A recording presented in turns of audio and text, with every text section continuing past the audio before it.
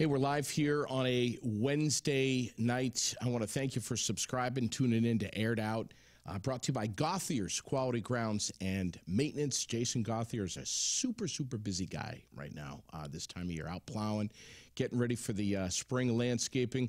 Chris Wright from Wright Electric, Project Independence, and a new presenting sponsor tonight, which I am so excited about. Uh, Lauren over at Aeromed Essentials. What a great lady she is. Uh, we've got uh, so much to tell you about them, but three locations now Berlin Mall, of course, uh, State Street in Montpelier, and now over in Hanover. We are very excited. Uh, she's going to be on the show. Can't be soon enough. I can't wait to have her on. She's a great lady. Lauren Andrews, uh, thanks for being uh, our new presenting sponsor here on Aired Out. I have with me a guy that I've been looking forward to having on this show for a very long time, Dave Keller. My man, welcome. Thanks, JD. It's good I'm to so you, man. I'm I- glad to be here. I'm so thrilled that you're here, brother. Where do we start? Where do we begin with you? You're you're an interesting dude. Well, I don't know. I mean, mean, no more interesting than anyone else. I just happen to play guitar. Oh no no no that that is not true. You're an interesting interesting guy and a remarkably talented. Uh, life got started for you the first eleven in Worcester, Mass. Yep. And then uh, you you did what? You cut loose at some point and you ran around the country. Yeah, I was traveling all over before I moved to Vermont. I was out in uh, Washington State right before I moved here. I was a Vista volunteer, uh, kind of before they had AmeriCorps. They called it Vista. Yeah. So what'd you do? What'd Yeah, you do? I uh, worked with low-income families, helping them figure out ways to save heat and electric. How'd you land that gig? Uh, my girlfriend at the time and I, we worked for an environmental consulting company outside Boston, and it was just horribly boring and just mind-killing. Yeah. writing EPA reports in like a cubicle, hermetically sealed building. Uh, you know, the high point of my day was like going to get like a sandwich at like the gas station store next door. We're already off to a uh, a great start. You and I are are, are, are so similar because I I was actually uh, working at ITT Hartford Life Insurance. Wow. In Hartford, I Connecticut. doing that. No, No. no. In right in Hartford, Connecticut. But then again, you know, Wallace Stevens, like one of the great American poets, didn't he work in an insurance company in Hartford or something for years and years and wrote poems on the side? I think. I don't know, but Like, now I'm going to have It's a lot of poets probably stuck working in insurance and environmental You know, consulting. You know. I just got to the point where I'm like, you know, the whole suit and tie thing and briefcase Mm-hmm. in a cubicle with a little headset on. I'm out of here. It's for some people. Like I don't. Of course. I don't like. Um, you know. I don't want to dump on it. You know. Sure. And it's good that there are people willing to do those jobs because honestly, that kind of work needs to get done. You Yeah. know, like we can't all like play guitar and do Sure. radio shows. You know, Sure. the, war, the economy would come to a grinding halt, right? So what happened after that?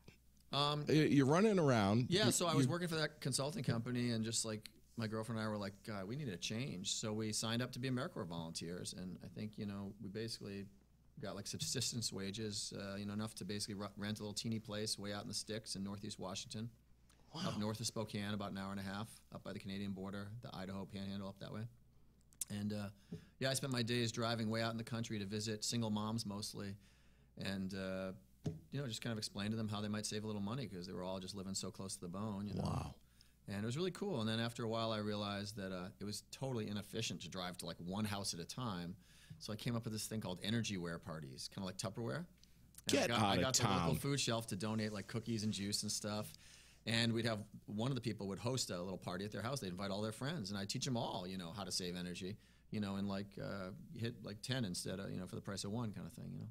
That is so And wild. then I got the local utility to donate like, uh, uh, you know, wraps for their hot water heaters or things to turn your th- thermostat down automatically, things like that. So everybody walked away with something too. So it was really Did, cool. were- Were you moving your way back east? Did you say yet. no? Not at that point. I was just out there for a year. It was a year kind of um, pro- program. You know, I was there for a year, and at the end of the year, my girlfriend and I decided to like take a big sabbatical, and I wanted to move back east, be a little closer to my family. They were all Massachusetts mostly. My grandparents were getting older, and I didn't want to live like you know where I could only see them once a year. you know? Yeah. So I uh, packed everything up in my car, my dog, dropped my girlfriend off in Ohio, where she was from, and kept driving. And I had a list of towns I thought might be cool, uh, places where there might be other young people. I was about 25. At the So you broke up with a girlfriend. This is back in '93. Yep. Yeah. Yeah. we broke up. Had all my stuff in my car with my old dog Hickory. I don't know, so maybe some people out there listening might remember Hickory. And uh, yeah, we just drove around like from West Virginia, Northern Virginia, all the way up through Pennsylvania, upstate New York, checked out different places in Vermont, and then I was driving through Montpelier on a sunny late December day back in 90, 92 it was, at the end of 92, and I just fell in love with Montpelier. It seemed like a cool place. There was Buch Spieler, so it was a record store, and Of course. there was Guitar Sam, which at the time was Played Again Sam, Yes. right? When their old building before it burned. Yeah, with Kevin still, Kevin Cross is still running it. yeah. He's holding it down. He's awesome. What a great dude. Yeah, he's a great supporter of all of us local Sure he is. you know. Sure. I'm grateful for him. And, Charlie and, uh, O's. and then Charlie O's was there. I thought, well, blues bar, it's cool. I needed to be somewhere where I could play blues. At that point, I was totally in love with blues already, and I was like, wherever I be, wherever I am, I have to be able to play blues.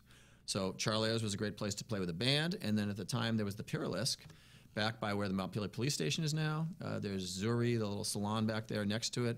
Um, that building was the Pyralisk, where Nicholas Hecht, great artist, and uh, I don't know what you'd call him, like impresario he had this little space which was he did there was there was music there was poetry there was art um, you know he, his art was in there and there were just different happenings you know it's kind of like a little hippie coffee house How the hell did you get through the catch net of Burlington and, and penetrate through there and end up in Montpelier? well i'll tell you why because you know burlington was on my list actually because it was a college town i thought well that'd be cool be young people and you know Wicked Arts, yeah. But there were pe- too many people honking horns up there, man. I was like, I'd been living in a town of about, I don't know, I don't know 1,200 people. And the big town around there was 5,000 people. yeah. And I was like, boy, I don't know if I can handle 40,000. That's just a little too big. So then what? So you settled down. Yeah, so I rented a place uh, up on Guyette Road up in North Montpelier um, for a few months, and I got a job as a temp. I was a Kelly girl. That's what they used to call them back when like temporary services were mostly secretaries. Yeah, like Kelly and- and services. receptionists. They called they called them Kelly girls if you worked for Kelly Services, right? Yeah. So I was a Kelly girl up at uh, Johnson State College for like a long term one for like uh, six weeks, and I would drive up every day to Johnson. And by the time I got to Johnson, it was always snowing. And Yeah. you know, and then I'd get home and I'd go out in town in Montpelier and poke around. But I couldn't find like a permanent job around here.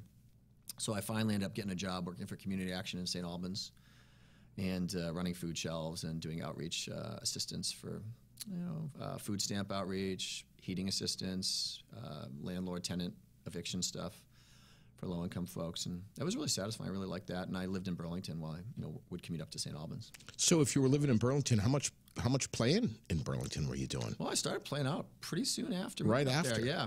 I Is had it- this that- guitar. This was the guitar that I used. It was is an old Yamaha from the '70s. It's my first and only acoustic guitar. I haven't bought any since.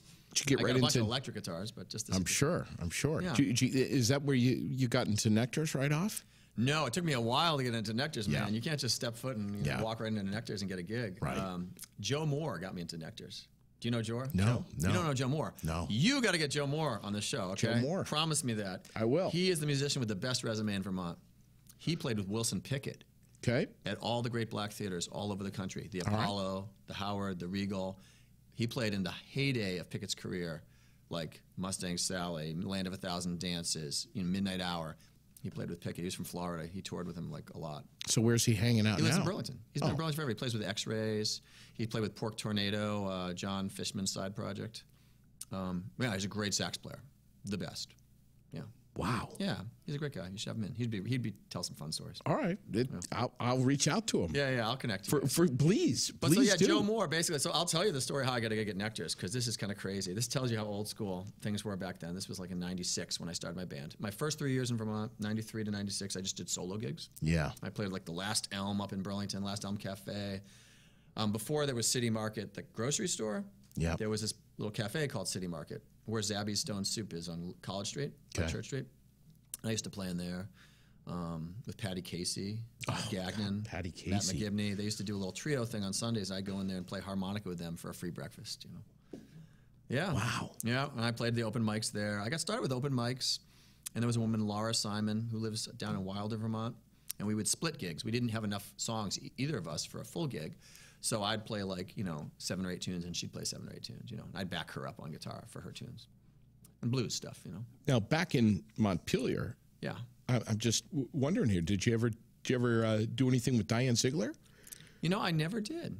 I, I've seen we've stopped and chatted on the sidewalk, but she has. I think by the time I was doing more stuff and would have run into her, she was kind of dialing back and raising kids. I think, so. Yes, that's right. Zig's Zig's amazing. That's man. what everybody says. I have yet to see her, but I mean, I hear only great things. Like, Yeah. she's amazing apparently. Wow.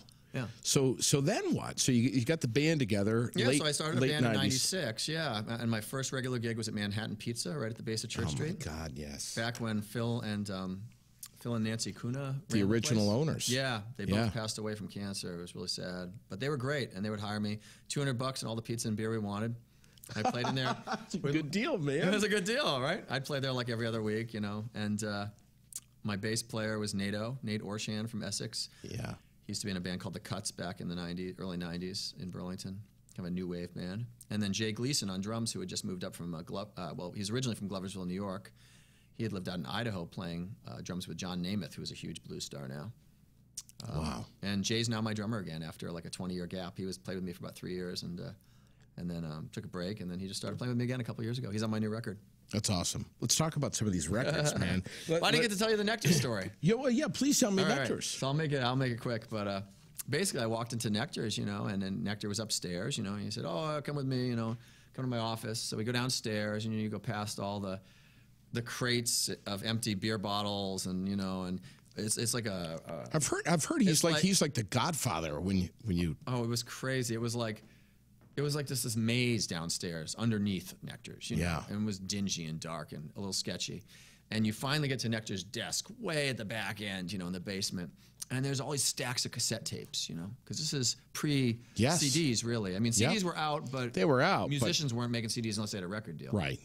So, uh, so I said, "Wow, you know, you know, it must be hard for you to listen to all these. You know, how do you decide like who to hire? How do you possibly listen to all these cassettes?" He's like, "Oh, oh, I don't listen to any of them.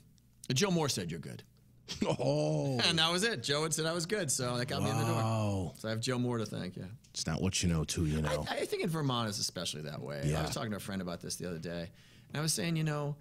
The, uh, the great thing about Vermont is word of mouth is everything. Sure it is. So if you're like a nice person and you work hard and Right. you're decent at what you do, you don't have to be great. You're decent. You can get out there Sure. and work. You know. Yeah. People will people will tell the people about you, and they'll start coming to your shows. I started with five fans in 1996 at Manhattan Pizza. There were there were four people who were uh, it was two gynecologists and two people who worked in their office, and there was this other guy Ken Kiefer who used to come. And he, he's one of my greatest friends now, yeah. And the five of them started coming to my gigs, and then it kind of built from there. Ken Kiefer, um, He's the one I sold that um, that turquoise guitar to. It was more of that we were just talking about. yeah, aqua. It was like an aqua guitar. Uh. Yeah, and and Ken, um, uh, Jason Gauthier uh, just sent me a text a minute Mm-hmm. ago. Ask him if he's if he's still playing with Ken Kiefer. Really? Yeah. Well, that's kind of weird. Yeah. Yeah, Ken's great. He's involved with um, he- he married Susanna of Susanna's Catering, um, Yeah. up in uh, Johnson. Wow. And she's great. She's one of the best chefs. I know. And- Everybody yeah, freaking knows out. We still hang- everybody. And that's the thing, though. See, if, if I had stayed, you know, if I'd gone back to Boston area and tried to make it down there as a blues guy, there were a zillion blues guys down there. I would have gotten cut to pieces and left in the in the gutter, man. You know, I wasn't that good. Sure, sure. I didn't start out good. One of the questions that I'm so curious about, and we have to talk about your incredible albums and what you've been nominated for, and the brand new one out. But I just got to ask him, Yeah, my, yeah. my brother, Please, yeah. Oh, how how many? Please, how many pairs of shoes do you have? do do so? I, I I did not see that coming, JD. I did not see that coming. Do you have as many pairs of shoes as Chad Hollister has glasses? Well, I don't know how many he has. He has a lot of pairs of glasses. Oh, my God. That's because he's friends with Pete Boyle, who runs Well, Optical Expression. Optical Pete- Expression. Pete, sold it, but um, but yeah. He, my um, God, my man! It's like every time I see you, there's a different pair of shoes on. Every time Hey, I have see you seen Chad. these? Can I hold these up? Yeah, please, are please. Okay. You see them? There we are. we on the TV? No, not really. Not really? No, Here, take take them off. There you go. That. Those Yeah, are my good ones. it's not bad. Give me one of those shoes. No, man. You got to go to Illinois to get those.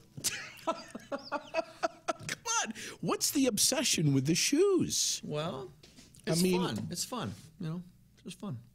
I mean, I was always a really conservative dresser, to be honest, for years and years and years. And then when I started playing music more seriously, I was like, you know, why am I dressing so conservative? Let's have Yeah. some fun with it, you know? Yeah, And it's also a way of connecting to the kind of the blues culture, I guess, you know, where the blues comes from. It, you know, it, yes, you know, you see a lot of rock bands dress up in jeans and a t-shirt, but you see a lot of rock bands dress up in a jeans and a t-shirt, but in the blues, people always dressed, you know. yeah. Yeah, I mean, especially in the black community, it was it would be considered disrespectful to show up on a stage in jeans and a t-shirt I saw you. in work boots or, Yeah, or right. Birkenstocks or whatever. I, I was on my bands for a long time about, please do not wear that stuff on stage. You know? yeah, I, I saw you somewhere late '90s, uh, might have been 2000, and right after the gig, I was talking with somebody, and I, God knows who it was, but they were like, "What color shoes did he have on?" And, and I, I didn't get the memo that that uh, I- you know that I was going to see a guy with some ass kicking shoes. So I walked in. I'm like, oh my god, this guy's unbelievable! And look at his freaking shoes. Yeah. And Well, you have to come over someday, JD, and I'll show you my shoe collection. I want to see a picture of the shoe collection. No, no, that, that's private, man. But they, they were I don't. like, I don't do that stuff on Instagram. Sorry, I don't. I don't reveal everything. they, they were like, what color shoes was he? And I was like, oh my god, you so you know about Dave Keller and his shoes? And I, I said they were pink. There you go. They were like a pink, like a Probably a lavender. like a lavender. Yeah. That's amazing. Yeah. I actually need some bright pink ones. I don't have any bright pink ones, but that's on my list. Oh God. I've got almost every color of the rainbow at this point. Let's talk about some of these albums, brother. And Sure. it- you know, I don't even know where to begin. I mean, th- th- let's talk about the latest one here Sure. that just came out. Yeah. Hit me. Let me know. Um, yeah. My first live CD ever. Ever. It's called Live at the Killer Guitar Thriller. And I was not intending to release a CD, to be honest. Literally, um, a guy recorded a gig down in Pennsylvania last April, just from the crowd, and approached me after the show and said, "Hey, you know, I, I, I hope you don't mind. I recorded it." Um, I said, oh, "That's cool. You know, I'd love to hear it." He's like, "Cool. I can put it on a CD and send it to you." So, you know, a few weeks later, I get a CD in the mail. And you know, this happens like you know semi regularly. People send me recordings or photos or whatever, and I'm always like, it's nice, you know, but I don't really ever figure I'll use most of it, you know, and especially a CD. Like, you know, what's the chances the audio quality is gonna be any good, or that even that it was a good performance? A lot of times it's like an average performance. Well, I'm not gonna do much with an average performance. It's nice to listen to, like in a Monday morning quarterback kind of way, right? But Sure. but I popped it in my CD player and I was like, wow, that's really good. You know, and I knew it was a good gig. Like we had driven all the way down to uh, just outside Philly in Bucks County, a little town called Edgely. And it was at a VFW hall and uh, put on by a blues society, the oldest blues society in the country. It's called Bucks County Blues Society. They've been there since 1977. These are like old school, diehard blues and soul people. Like, they, I think they were like all motorcycle guys maybe originally. They're all kind of like gruff. I don't know. They all have that like that like Jersey, Philly, Oh, yeah. Delaware kind of gruff Sure, thing in their sure. voice, but they're sweethearts. They're all like little Yeah. softies. Um, but at first they come off as a little bit like tough, you know. Yeah.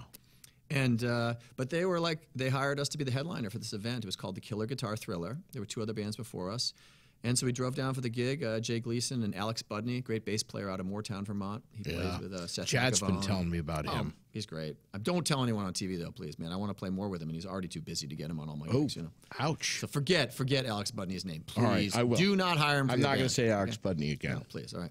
We won't. All right. So, uh, but yeah, so the three of us drove down there, had you know, and just had a great killer gig. So, and it, it was obvious from listening to the, the CD the guy sent me, and I was like, wow, you know. And the more I listened to it, I kept like listening to it. I'd pop in the car, I'd be like, well, I'm throw that in the car and listen to it while I'm driving to a gig. And I was like, wow, that's really good. And then I played it for my girlfriend, and she was like, yeah, that's really good. And I played it for like Johnny Rawls. He's like, you should put this out. I was like, really? He's like, yeah, you should put it out like right away. Don't wait. It's really good. It sounds like what you sound like.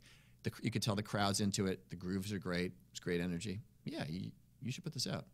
So I, I was like, my record company, Cat. It's not my record company, but the the record, the last record that I put out was on Cat Food Records out of El Paso, Yeah. And they didn't want to do something right away. They wanted to kind of like wait a little bit. So I was like, well, in the meantime, let me put this out on my own label, Tasty Tone.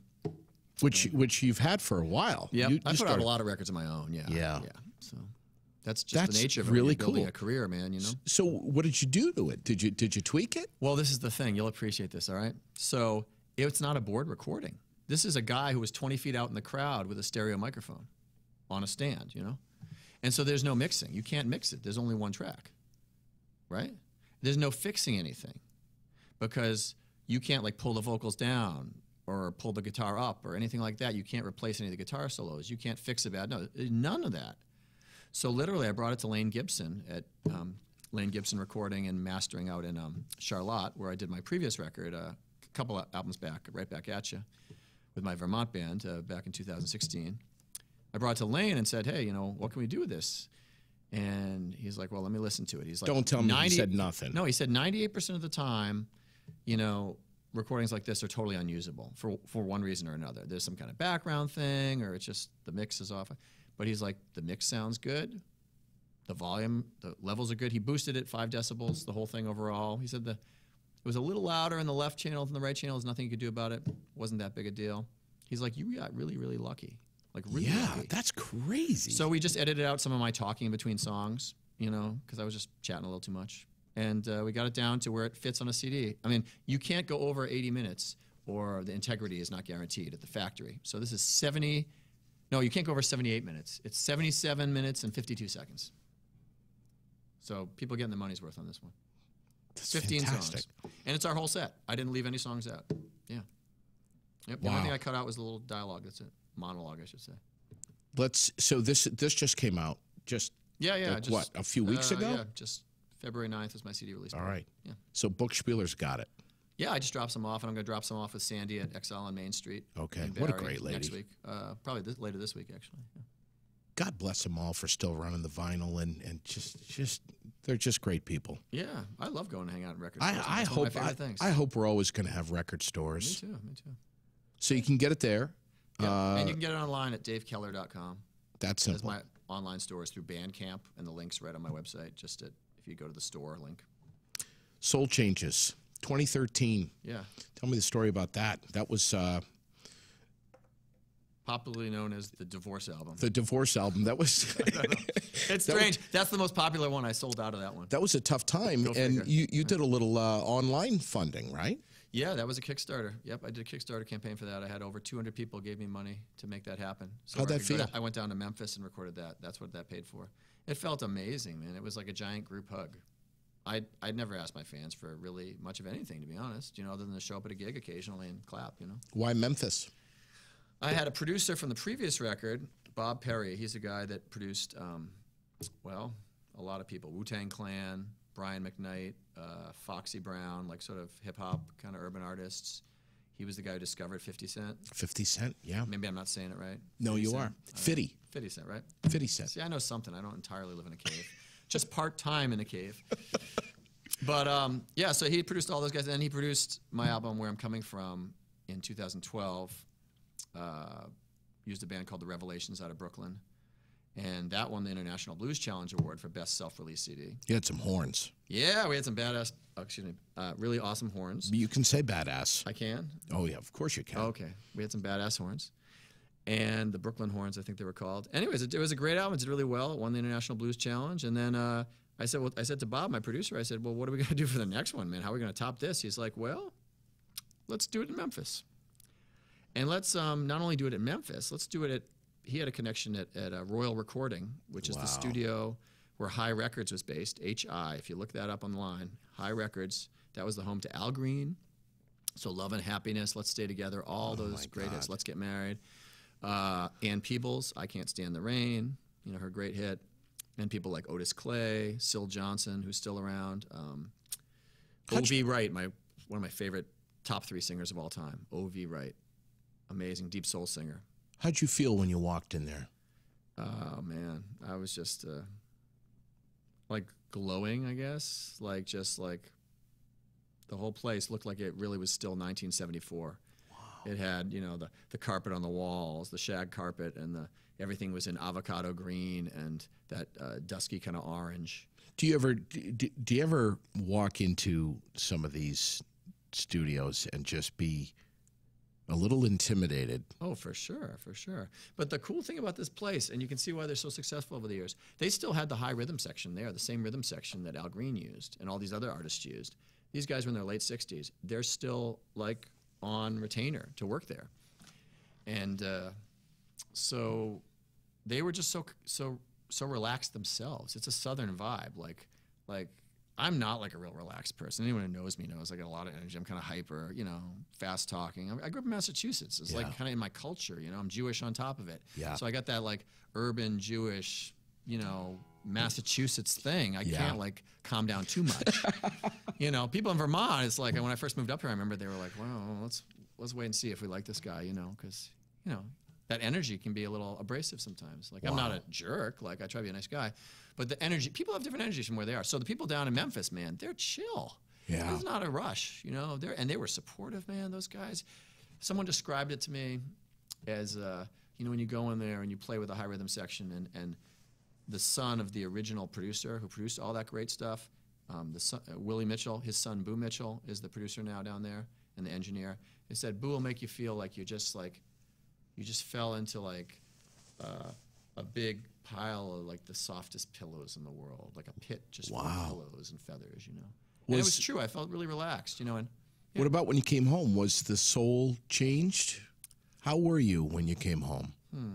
Eyes wider than Yeah, it gave me a sense of confidence for sure. That part of it, you know, to be able to go down there and bring my songs to these guys, play them on my guitar, show them how they go, give them the charts, and then have them play them and really like them and put their heart and soul into them and have them come out really well. Um, and I mean, another thing while I was down there was uh, there's a whole nother part of it is that I got to co-write with this guy Darryl Carter, who wrote "Woman's Got to Have It" with Bobby Womack, which if your listeners, viewers don't know that song, I don't know what cave they're living in. But in my cave, we listen to Bobby Womack. And uh, so I don't mean to offend anyone, but just No. go check it out. Woman's Gotta Have It. It's a, it's a classic soul tune. And Darryl Carter and I wrote a tune together down there called 17 Years. So that was the centerpiece of the album.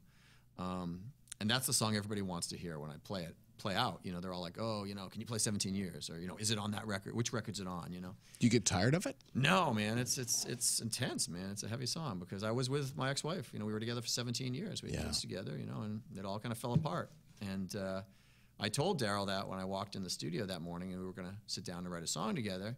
He's like, "Well, what, what ideas did you bring down? What do, what do you got? What do you got going on? You know?" I'm like, "Well, I didn't bring anything." He's like, "Well, what's going on in your life, son?" I said, "Well, you know, my, my ex-wife, you know, like, uh, she, you know, she, my wife left me after we were together for 17 years." And he goes, "Well, that sounds like a good song. 17 years. Let's start there." Holy shit. So yeah, so we wrote the song in about 40 minutes. Went out to lunch, little soul food buffet. Came ho- came back to the studio. Oh, we, we, well, we wrote it. Then I recorded it with the band. Then Darryl and I went out to lunch. Came back from lunch. Who was in the studio? But Bobby Blue Bland. Now, Bobby Blue Bland is one of the greatest singers of all time. I mean, I don't. That's not an exaggeration. Right up there with, uh, you know, I don't know, who, Elvis or, uh, you know, the Beatles. I don't know who, who would you put up there? Aretha. I What'd you do? Bobby Blue Bland.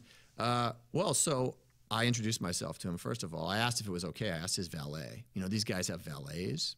So I said, "Excuse me. You know, do you think I could have a word with Mr. Bland?" And he said, "Oh, of course, go ahead." You know, and Bobby Blue Bland, he was like 84 at the time, and he was pretty weak. You know, he was kind of on the way out. It was sad to see, and his voice was real quiet. And I got down on my knee, you know, and he was sitting on the little leather sofa in the, in the lounge. I said, "Excuse me, Mr. Bland, but you know, I just gotta say I'm a huge fan of yours, and you know, I love." You know, so many of your songs, and the California album was great. You know, there's so many songs. And he's like, "Oh, well, thank you, thank you, son, thank you." And uh, he's like, "What are you doing here?" You know, I'm like, "Well, I'm making a record." He's like, "Oh, well, can I hear some of it?" I was like, "Well, um, you'd have we'd have to go in the studio." You know, he's like, "Well, uh, can you sing some?" And so I was like, "Oh my god, Damn. Bobby Blue Bland's asking me to sing to him, like a cappella. Like, well, how am I going to do this?" So I just did. I mean, like, what am I going to do? I'm not going to say no, you know. So I was like, I sang a little bit of the chorus of 17 years. You know, it was like. Uh, 17 years of heartache, 17 years of pain, 17 years of love, and it all went down the drain.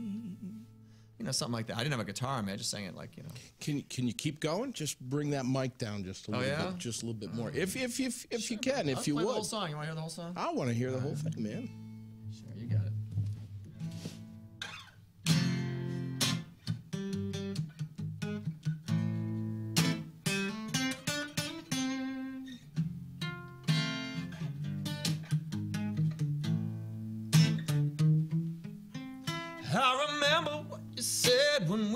First met. How much love could one girl get? That was 17 years ago, baby. Age old story, everybody tells. Starts out in heaven, winds up in hell. Don't it, baby? Took 17 years for me to find out a whole lot of things I know nothing about. Lord, that's the truth. 17 years of heartache, 17 years of pain, 17 years of love,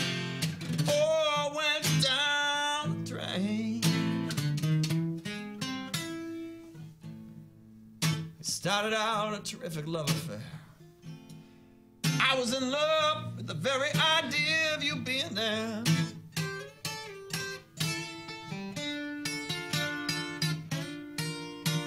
What a rude awakening when I found out somebody else you were dreaming about.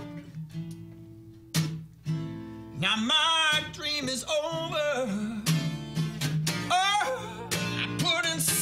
17 hard working years, loving you, girl, fighting back tears.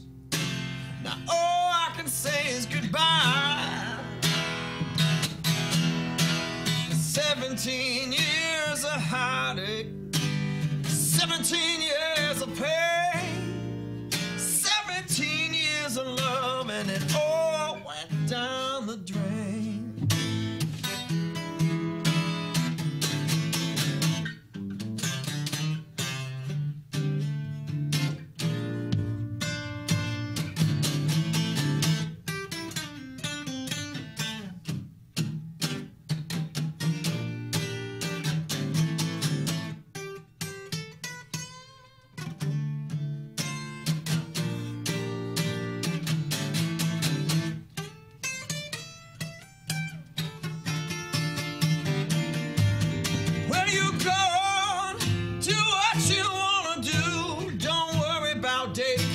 cause I will make it through.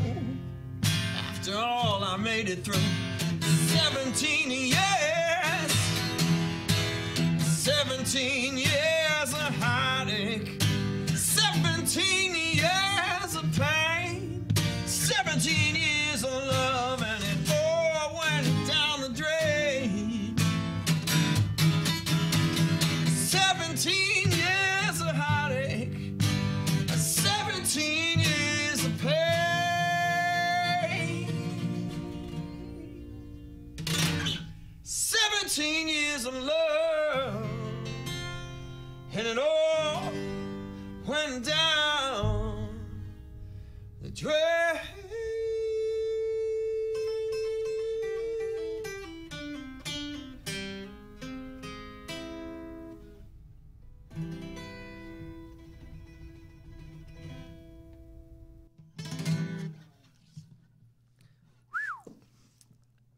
Beautiful.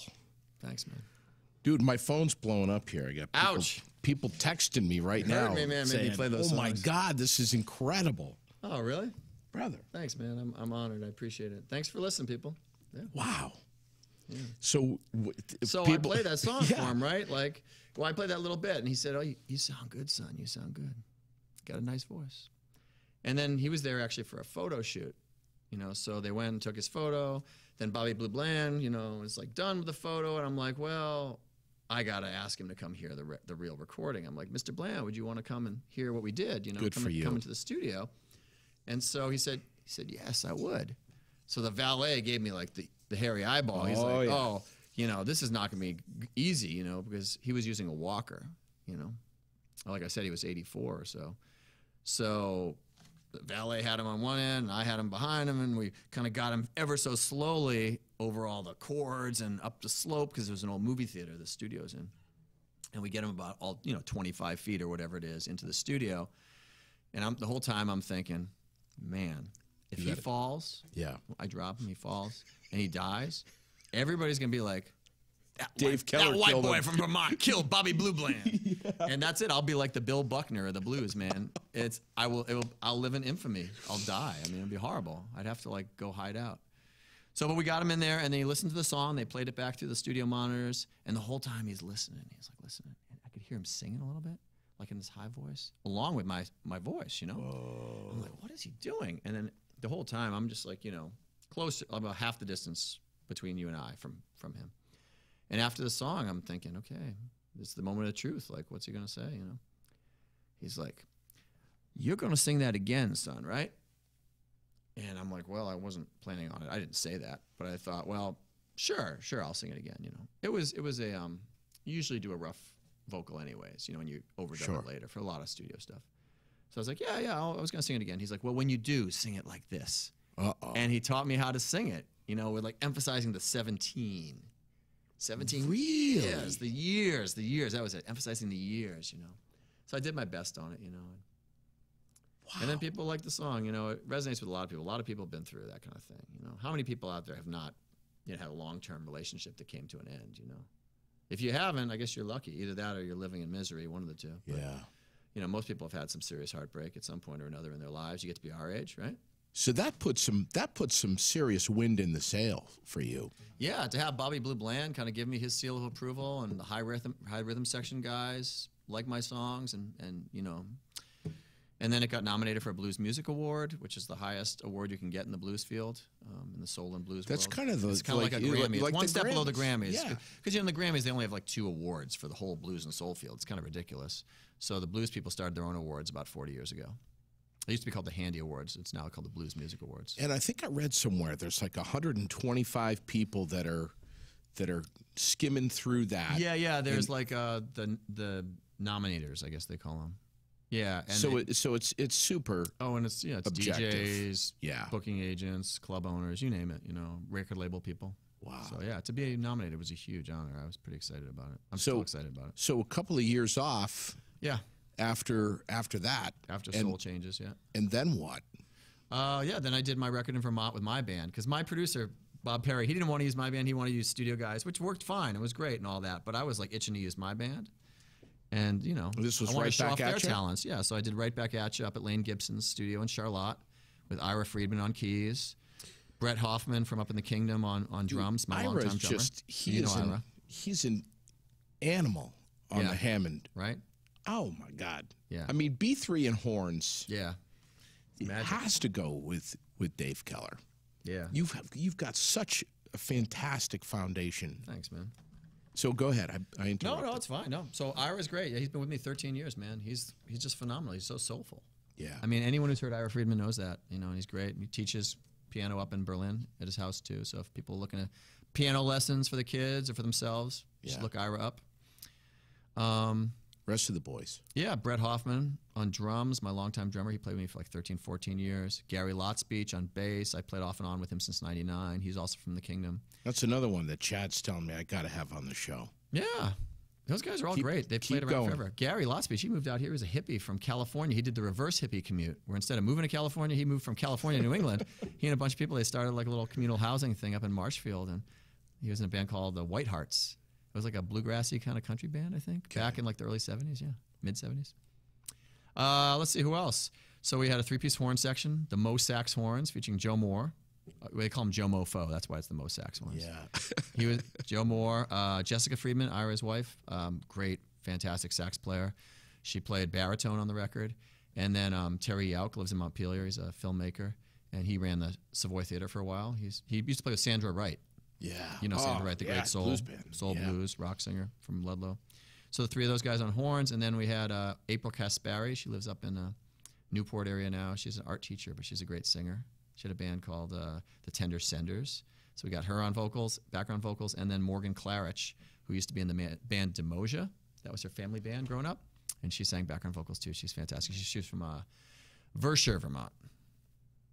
Beautiful I'm town. not sure where Vershire is. It's out near me. It's out near you, right? Yeah. Somewhere out there. Wow, man. So then, a couple of years later, two years later, you got another one. Yeah, yeah. And so then, the, then that after that was uh, Every Soul's a Star, Yeah. and uh, those other records helped me get a record deal for Every Soul's a Star. So I was on Cat Food Records. I'm still on Cat Food Records. Technically, we just haven't released anything since then yet. What's that probably will. like? What's that like? Well, it's nice to have to not have to do all the arranging stuff myself. I got to Yeah. tell you, man, it's a lot of work to put out a record. I mean, I once had a kid come over who wanted to learn what it's like to be a musician and a recording artist for like a school project. And when I started listing all the different skills that I've used and developed to Yeah. this, I was like, oh my God, this actually is a resume. You know, because I've always my my resume is a joke. I never worked anywhere longer than a year and a half, other than being a musician. But um, you know, you gotta you gotta be able to write. You know, to write press releases and promotional Sure. stuff. And Oh, yeah. graphic stuff for posters and you know sales stuff, like so communication stuff Yeah. all that stuff. Um, you know, organizational skills, songwriting. You know, the playing the instrument, singing, managerial skills with the band, Yes. uh, driving and stuff. There's a lot of that. I mean, there's just there's a lot of different stuff. you know. Yeah. But I don't know. But what was my point? I had a point. But yeah, it was so nice. It was nice to be on a record label, so that I didn't have to be the one sending out all the records to DJs Yeah. and finding making an arrangement with uh, distributors and all that stuff. And this this is, so yeah, they did a great job for me. They really did right by me, and they hired a great producer, Jim Gaines. Are you familiar with him? No. So this guy produced. He produced Stevie Ray Vaughan's last record, In Step. He produced Luther Allison's comeback records on Alligator. He was the the uh, the main mix engineer for Steve Miller's classic material, like Fly Like an Eagle. He kind of gave Steve Miller his sound. He produced Huey Lewis and the News, Tower of Power, Tower. all these Power. classic people. And, and once he produced Steve Ray Vaughan, um, then all the blues cats, blues rock cats, started knocking on his door. So he's he's in his early 70s now, and he only does like four projects a year. So to get to work with him was a real honor. I'm just uh, I can't help it. Um, Yeah, man. You know, I'm, I'm listening to you, and I got this this pen in my hand, and I'm just taking all kinds of notes here. I mean, this. Am I talking too fast? I told you I grew up in Massachusetts. I can't help it. It's crazy. I, I mean, uh, I'm just trying to, you know, I got things popping into my head here. Yeah. I just wrote down Andy Shapiro. Did you do anything with him? You know, okay. The, my only connection with Andy Shapiro. Well, I. Pl- oh, I'm sorry. My only connection, two connections with Andy Shapiro, is I play at the Andy Shapiro Memorial Bandstand in Middlesex Yes. frequently. It's super cool. His name's on that. Beautiful. But um, when I when I told you earlier, when I worked as a Kelly girl, Kelly Temporary uh, Services employee for Johnson State College, um, Matt McCle- Matt McLean, who lives up in um, Maple Corner in Calais, Yeah. he was hiring acts to play up there for the student body, you know, Yeah. and he hired the Disciples, which featured Tammy Fletcher and Oh, Andy Shapiro on keyboards. Interesting. And I opened for them. I did a solo opener, and uh, so that that was my connection with him. And I was just like, wow, they were a great band. I mean, he was a great gospel artist, you know, soul. what about Kat Wright? Kat Wright, we've communicated a little bit and, and met each other and chatted and stuff. We haven't done any performing together. We've talked about it a little bit. She's really cool. She's a really nice gal. What was it like at the fort? At the what? At the fort. Oh, at the fort, live at the fort. Yeah. Um, it's cool, man. I mean, that room is. A, you, you're talking about up at v, uh, v, VPR? VPR Studios. Yeah. Yeah. It's crazy, man. I mean, that is a really top-notch facility. Yeah. I mean, you know, you have to get some heavy donors to like turn this into that, I guess. But um, it was beautiful, man. They're really nice people to work with. Uh, the video stuff, they've got automated cameras that follow you around. Yeah. Wow. Yeah, and the sound was great. They're all really nice. Uh, It's just random stuff that's just it's just coming off. Yeah, of I have the link to that when I record up there. I have a link to one of those I've seen it. to that on my website, just at It's amazing. davekeller.com slash video. You can watch that. Yeah. Oh, thanks, man. Uh, yeah. It's amazing. Thanks. Um, That's with all my Vermont band, the, the nine piece. I think it was late '90s Mm-hmm. that um, that I got a chance to see Merl Saunders Hmm. when he was coming through, and he stopped off at Club Toast. Oh yeah, remember the cool place. Toast? Yeah, sure, Club Toast. That Did was kind of ever- like a that was like more the, the indie rock place, Yes, right? the alternative kind Yeah. of thing. Did you I was more of a metronome kind of guy. Metronome, because that's where they brought the blues and soul people. Yeah, man. Yeah. Did you ever Although get- I did see I did see Taj Mahal and Bo Diddley at Club Toast. wow. Yeah, they were both great. Did you ever see Merl? No, I'm not. I mean, I've heard of him, but I'm not that familiar with his Yeah. stuff. Yeah, And, and and I heard you earlier mention uh, Tower of Power. Oh my God, yeah. I love Tower of Power. You know, I, I love that guy. Um, what's what's the guy's name? The main, Lenny Williams, the singer, who was on a lot of their classic stuff, like "What Is Hip." what is hip? yes. Um, that guy's such a great singer. I recently bought a compilation of his stuff. I really dig his singing. He's on a really cool album by um, Betty Wright with the Roots backing them up, backing her up. She's a soul singer from back in the day, and you know the Roots. you Yeah. know, Questlove and all those guys. Yeah. So Questlove produced the record. It's called um, Betty Betty Wright the movie. I think it's kind of funny. It's not a movie. I don't know, but and and uh, Lenny Williams from Tower Power does a guest spot on one of the songs on it. It's so cool. It's so cool. Wh- What do you um, what kind of festivals have you done? And I know that's a huge it's a huge Sure. question. Yeah, yeah. There's there's so many. You play all over the Northeast. Yeah. You run down to Boston. You're running all over the place. All over the country, man. You, you've Yeah. done the Do Good Fest, Discover Jazz Festival, uh, Yep. umpteenth times. Yeah, a lot. Uh, the North Atlantic Blues Festival. That's the biggest blues fest in New England, man. It's a real honor. I'm playing there this summer as part of Johnny Rawls' Soul Review. Yeah, it's uh, July 11th. You ever get down to uh, Newport Jazz Fest at all? Or? I haven't. No, no, I haven't played in Newport. I played in Rhode Island a bit. Yeah. Yeah. But you got some big stuff on the horizon, brother. I'm you're pretty gonna, psyched, I yeah. can't believe that you're here tonight because you you've got a lot of planning that's going on right now. Here we are in uh, the end of February, Mm-hmm. and you're going to be dropping the clutch here real soon in March. That's right, man. I'm going to put some miles on What's going Beast. on? What's Yeah. happening? Well, let's see. In March, March 12th, I'm headed out to do a tour of the South. Uh, the sort of the farthest point is uh, Muscle Shoals, Alabama. Whoa. Yeah, we're playing in Muscle Shoals, man. That's where a lot of soul music started. Exactly. Candi Staton recorded there. Percy, Oh. Percy Sledge, When a Man Loves a Woman. Uh, Wait a minute. Wait a minute. Hang on. What was the Candi Staton song that I loved so much? Um, There's a lot. I recorded oh uh, no, this is going to Heart on a String. I did that on one of my albums, and that's on the new one. Um, that's gonna. Yeah, Hearts Run Free or something. That's No. a big hit. No, that's not the one I'm thinking of. I'd rather be an old man's sweetheart than to be a young man's fool. That's a good one. Man, what is that? Evidence. That's a great one. No, keep going. All the all the classic stuff from like the late '60s, early '70s in Muscle Shoals is just amazing. I mean, I don't uh, stand by your man. She did a cover of that one. That's cool. you know this is going to drive me crazy all night. There's a Candi Staton song from the late '70s. Uh-huh. The late '70s, maybe disco almost. Think because she had a disco career. She had a gospel career after that. She had her own gospel channel, I think, or program. Yeah. I'm going to have to Google it. Yeah. All right. Um, but anyway, I'm. Yeah, I, so I yeah, love. I Muscle love that Shoals, yeah. voice. God, I know, Muscle right? Shoals. Well, the story behind that, her voice, you know, was uh, Rick Hall, who was the producer down in Muscle Shoals, the main producer of classic stuff at Fame. Um, he would make her sing. He would make her sing like the song 25 times, do 25 takes of the vocal, and then he would hit record. He would just basically wear her out to where her voice got real raw. And when she found out he was doing that, she was really upset. Isn't that? I would be upset. You know, like you're giving it your all each time, Yeah. thinking you're being recorded, and then you're not being recorded. Ouch. Yeah, yeah. Who, who else? M- Muscle, so Arthur Muscle- Alexander, he's one of my absolute favorites. I could play an Arthur Alexander tune for you. if you Please, if you would, please, I'll play you my please. favorite favorite tune to play at my solo gigs. Oh, Arthur man. Alexander. So a lot of people obviously know Percy Sledge, "When a Man Loves Yeah, a Woman," yeah. right, and "Out of Left Field," all his classic songs.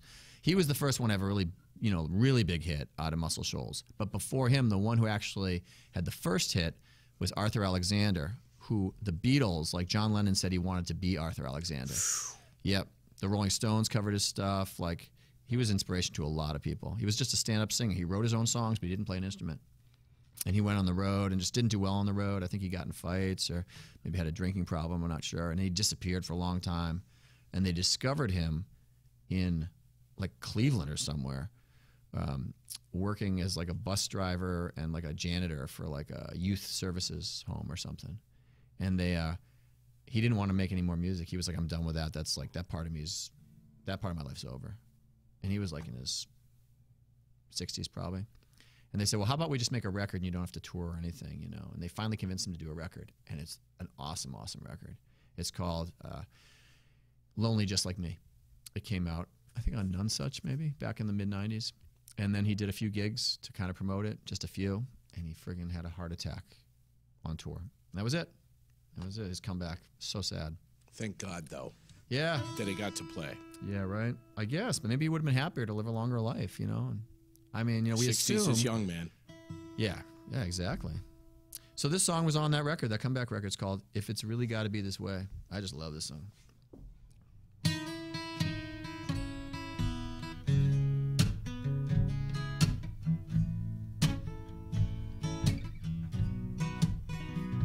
If it's really gotta be this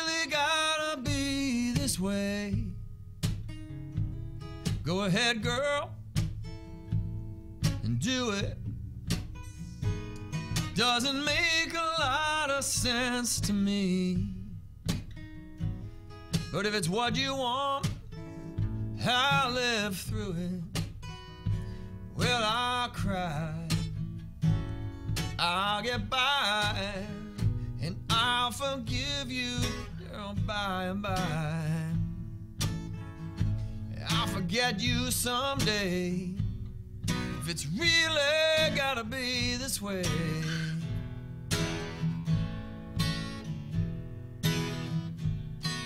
If this is what you think you need, go ahead, girl. Mm, try it. It doesn't make a lot of sense to me. But if it's what you want, oh, I'll buy it. Well, I'll cry. I'll get by. And I'll forgive you, darling, bye bye. And I'll forget you someday. If it's really gotta be this way.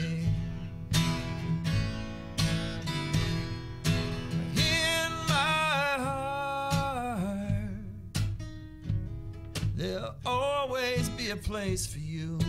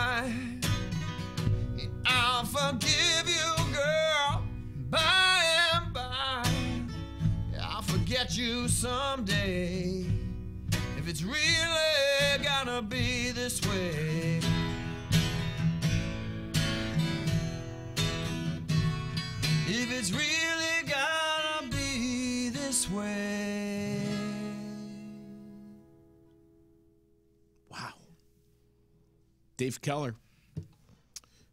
Killer Guitar Thriller is his new album that is out. It's at Buch Spieler. It's going to be here in Barre over at Exile on Main. Uh, man, dude, you just giving me goosebumps, old feller. Oh, thanks, man. Thanks, Damn, JD. I appreciate it. damn. Unknown Blues Band. You ever do any stuff with them? Well, I did. Fancy you should ask. Yeah.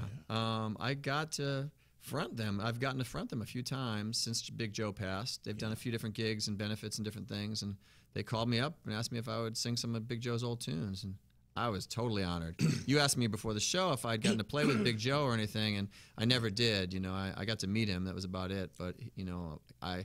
I wasn't that well known back then, and I wasn't honestly that good back then, you know. So it's taking me. I'm one of those people that took a long time to kind of build their skill set. You know, some people start off like uh, prodigies or real talented when they're younger. I wasn't really. That was not me, shall we say? Yeah. You know, I did my learning on the bandstand over many thousands of gigs, shall we say? Um, while you were playing, Yeah. um, I got that uh, Candi Staton song. It's Oh, He Called Me Baby. oh, he called me baby. Ooh. That's And a great song. Patsy, Patsy. Patsy Cline did it too. Did she do that? Oh, that's cool. Did an incredible Yeah, I don't know that one. take of that. You call me baby. Yeah, it's a great song. What a great tune. She's still alive. Candi Staton's still out there. I mean, she doesn't do much touring. She, I think she mostly just goes over to Europe a couple times, maybe, Yeah. and uh, Did you ever select get into, gigs. Do you ever get into a little bit of Phoebe Snow at all? I haven't listened to any Phoebe Snow. I should check her out. I mean, I've heard the name. Yeah. You need to check out Phoebe Snow. All right, all right. I, I promise you. You check out Phoebe All right. Snow, and I'm checking out uh, Joe Moore and Arthur Alexander, man. Arthur Alexander. That's my homework. Yeah, check out that comeback album. It, um, uh, Lonely Just Like Me. That's my favorite of uh, Arthur's stuff. Yeah. Red hot. Yeah. Festivals. The other festival that uh, that we missed that um, you and I were chatting about before the cameras went on was the Ben and Jerry's Oh. One World, One Heart Yeah, Festival. that was a great Sh- festival. Up in Waitsfield. It was wasn't at Sugarbush, yeah, Sugar for Bush. years and years, yeah, at Mount Ellen. Mount Ellen. The Yeah. one I went to, I think uh, it was Hootie Mount- and the yeah, Blowfish was playing at the one I went to. Oh, really? I missed that one. Yeah. Yeah. I caught the one. I played at the one with uh, with Storyville, Okay. which was a great band. They had the rhythm section of Double Trouble. You know, Steve Ray Vaughan's old rhythm section. unreal. Unreal. Yeah. yeah. So I don't know. I mean, what else do you need to know? Memphis Horns. I'm thinking about them. Uh, Tower of Power. I mean, the, you know, you know what's weird is that um, my mom. I- think I was maybe seven or eight years old, and my mom went to a garage sale, a tag sale, and Okay. came back with a cardboard box with some albums in it. Nice. and there was some Elvis in there, Yeah. uh, some Patsy Cline, and Memphis Horns, Nice. and uh, Tower of Power. Nice. And I had the I had the turntable in the bedroom, and I put on uh, Tower of Power. Never had even heard. I think I was like seven, 7 Mm-hmm. or eight years old. I'd never even heard of them, and dropped the needle on what is hip, and that was that was it for me. And that is hip. that was it. I Yeah, was like, cool. oh my They're god, so tight, man. It's ridiculous. oh, it's Yeah. incredible. I don't know. You'd have to just. It's like James Brown, man. Like you know, the only way to get that tight is to Yeah. practice for ungodly amounts of time and have like a taskmaster just like you know making you do it because Sure. there's no way to get that tight otherwise. I don't think. Yeah. I'm not that much of a taskmaster, unfortunately. I can't really. Uh, practice practice and and i'm sure that's what you tell your students you you're you're you're teaching you, you do some you do some private teaching. Yep. right here in At montpelier, Montpelier my house, yeah, yeah. So I've always had, a, you know, I always had like a few students back in the '90s, and then when I uh, started having kids, you know, I've got two two daughters. Yeah. I uh, wanted to be around for them more. So Sure. my next door neighbor, Bob Blaze, uh, was a great cellist. He was he was teaching cello out of his house, and I, he was like, "Why don't you just teach guitar?" You know. Yeah. I was like, "Well, you know, I don't read music." He's like, "Well, most people learn guitar. I don't care about that." I'm like, "Well, I didn't go to music school." You know. Yeah. He's like. No one really cares about Yeah, that if you yeah, learn of course, guitar. of Like, course. everybody knows who you are. Just you know, put out a shingle. So I started doing it and started with a few students. I ended up with you know 35, 40 students after a while, and I've scaled back since then just because I'm traveling more. But yeah I still have some students. Yeah. good luck on this uh, on this tour how many months are you going to be around april april you're going to be in germany and spain Yeah, that's crazy. dude I know, right? Literally, uh, this club, really nice blues club in Baden-Baden, which is like a resort town. It's a spa town in the southwest of Germany. They saw a review of one of my records in Blues News. It's the big German blues publication.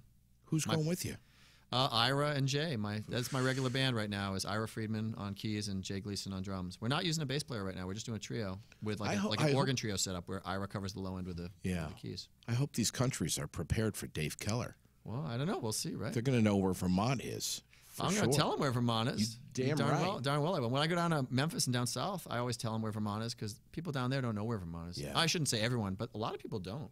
yeah They're like, is it up like, uh, they're like, "Wait, where is it? yeah right What I know it's up there in? somewhere. what state is vermont in Yeah. Well, now that Bernie's out there, people know a little bit more about a little bit more, Yeah. sure. Uh, and then uh, in June is Yep. when you run out west. Yeah, June we're headed out Midwest, so like out to Minnesota and back, basically. We So did who's- it last who- summer for the first time. It was really fun. Now, We what's going on kids. with the uh, what's happening with the personal relationship here? Who are, are you married? What's going on? what's going on? I'm not married. No, no, no. I've done that. I felt like, uh, yeah, I don't think I'm going down that road again. Who are you with? Uh, I got a great girlfriend, man. Katie Sterling. She's a. I don't know. I was gonna say hot little number, but it's the truth. I don't know how to say it without saying. She's a great gal. She moved up here from Jersey a few years ago. Uh, we met at a blues festival down in um, in the Poconos. I was playing with Johnny Rawls in my band. We were backing up Johnny, and she came to the festival. She wasn't really a blues fan or anything. Some friends of hers dragged her along who were blues fans, and she had just broken up with her partner. And uh, my girlfriend at the time, after first relationship after my divorce, had Yeah. dropped me like a hot potato. And Wow. we met the first night of the fest, and we've been together ever since. You know, we did the long distance thing for a year, and then uh, she moved up after that, and uh, yeah. What's next for you, bud? Uh, outside of these, outside of these tours, what what's after that? You got anything on the backside of that? You're just going to come home and another album? I can't believe I just described her as a hot little number. No, on- that's in o- the that's public. fine. She'll actually appreciate that. I'm just ever so slightly embarrassed. it sounds kind of like a sexist thing to say. She's really smart and really interesting person. So she's There not just go. a hot little number. Well, you, hey, we're live, man. So you're, you're, airing it out. All right. Sounds like what a did great you ask me? I was though. still thinking about that. What was your last question? Uh, what's after this? You- You're going to run around for a few months. What's on the What's on the back side of that when you come back? A new Well, album? I mean, I do. or- I do have some guitar, some gigs up in Vermont that are coming up. I'm playing at Red Square in Burlington on the 6th of March, Wicked. and uh, and then on the 27th of March, I'm at the, uh, Double E in Essex. Yeah. You know Eric Koval, I'm sure. Uh, He's, he used to be a DJ at the Point.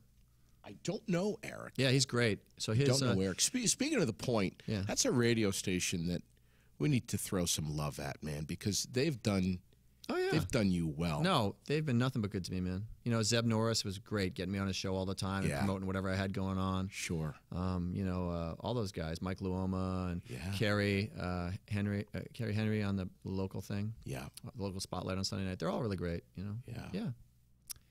I love DEV. WDEV has been great to me. Yeah, J-. From Jack Donovan to Artie Yeah. Levine, Artie to- Levine. To, now Greg Hooker is back there and Yeah. Pitts Quattrone, obviously my buddy. Yeah, They're all great. Pitts. And you Yeah, were over there, yeah. yeah, the when- 101 the when- one, you know? Yeah, 101 the one. And w- when you mention, uh, what was it, Bu- Buxton County? Bucks Bucks County. Bucks County. That's where Pitts is from, isn't it? He's from down that way. Yeah, he's from outside Philly. Pitts Or was on the Philly show. uh, he's from the Philly area. Not long ago. So you've been up on, you've shared a stage with him. We had a big Oh, benefit yeah. for him Yeah. at the Barre Auditorium. Yeah. Uh, God, I don't know when that was. Uh, last June, June. last June. Yep, it was right before I left for my tour. I think. Yeah. Yeah, with Chad Hollister. Tell me about Chad. Give me some dirt on Chad. There's no dirt on Chad. you Chad's know a he's great guy. watching You can't now. find any dirt on Chad.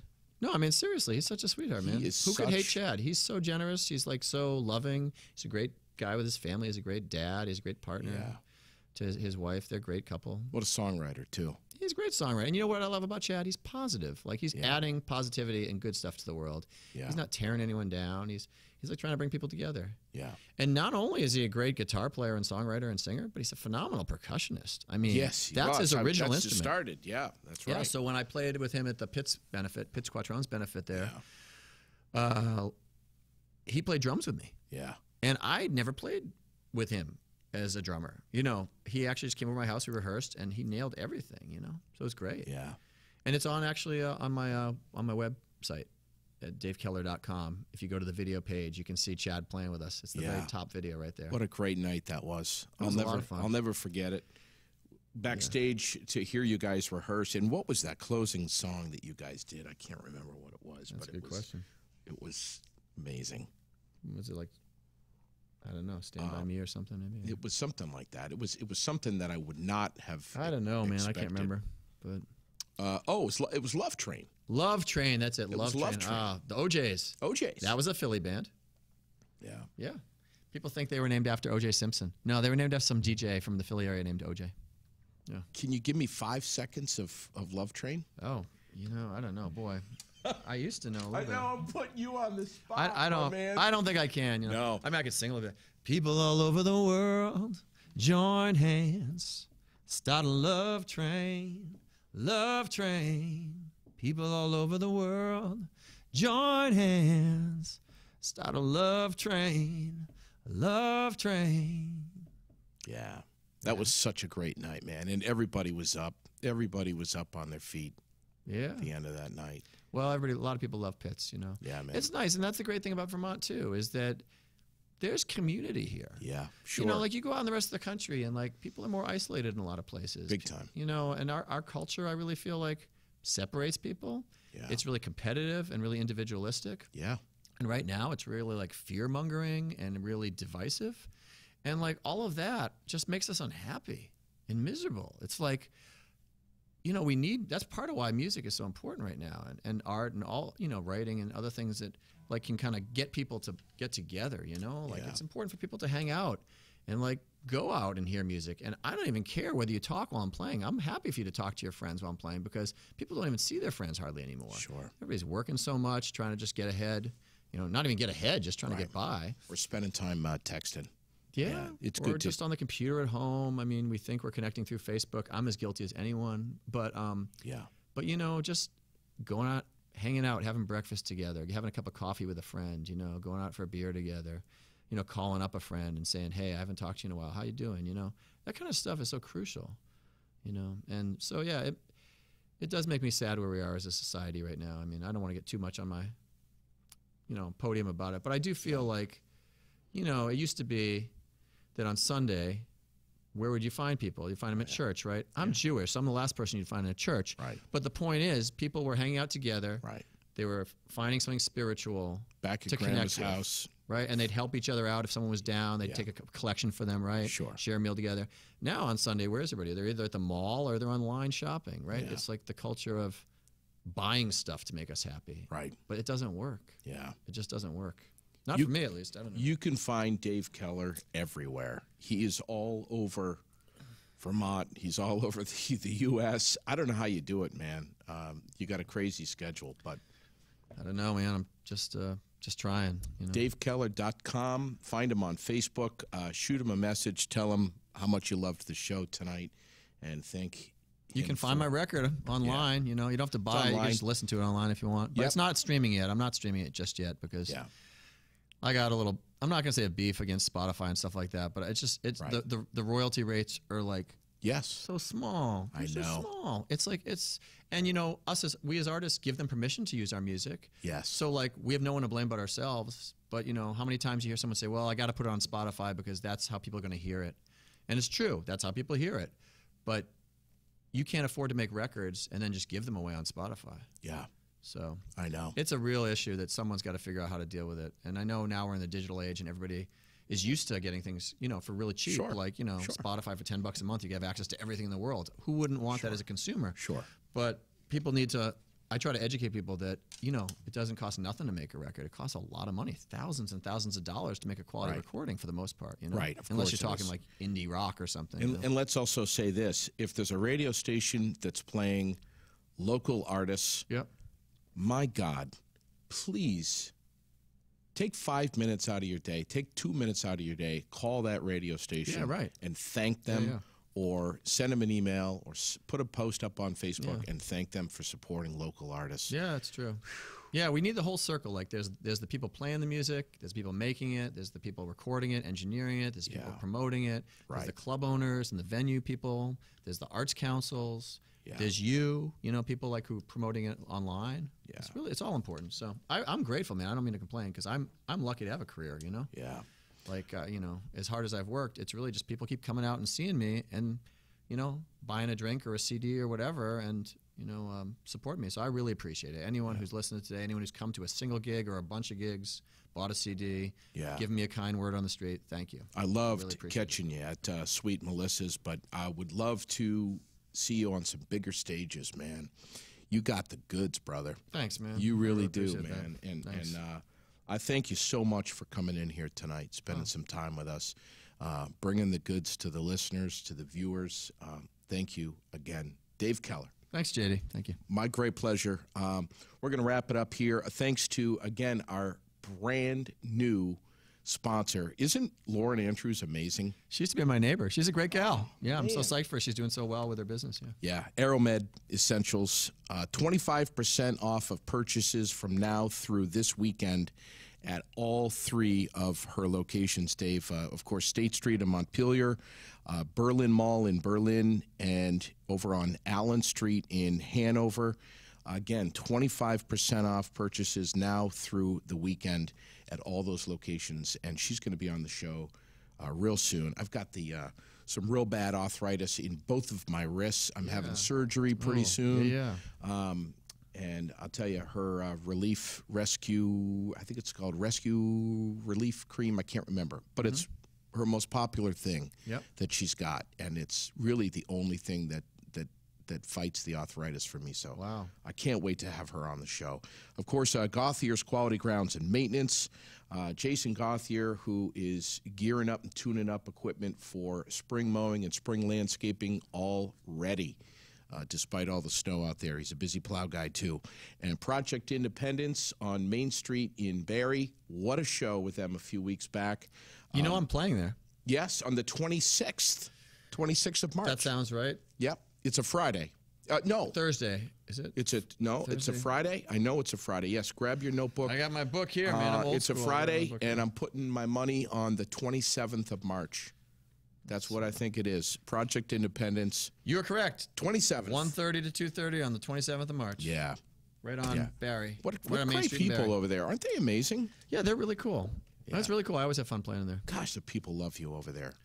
They They're- do. Well, I love playing for them.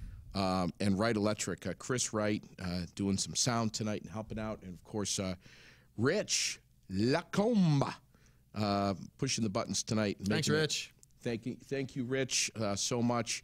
Uh, we're going to catch you uh, next week. I can't wait. Uh, more shows coming your way. Thank you for subscribing. Have a great night, and we'll catch you next time. Thanks for checking out Aired Out.